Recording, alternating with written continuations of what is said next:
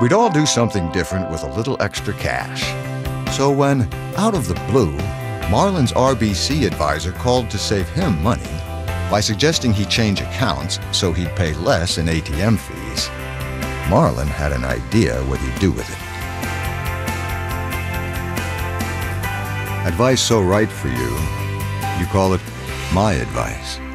RBC, advice you can bank on.